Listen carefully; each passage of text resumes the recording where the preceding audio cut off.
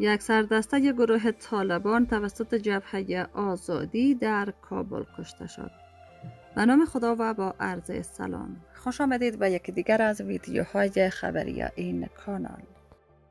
به نقل از آماج نیوز جبهه آزادی. سه طالب به شمول یک سردسته این گروه را در کابل کشتیم. جبهه آزادی می گوید که چریک های این جبهه اصر روز جمعه 15 سرطان در به ورودی قطعه سرحدی بدری گروه طالبان را در جاده دهمزنگ واقع در حوزه سوم امنیتی شهر کابل هدف قرار دادند. به گفته این جبهه در نتیجه این حمله یک سردسته طالبان به نام عبدالله عمری با دو جنگجوی دیگر کشته و یک طالب دیگر زخمی شده است.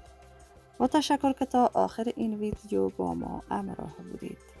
تا ویدیوهای دیگر الله یار و نگهدارتان.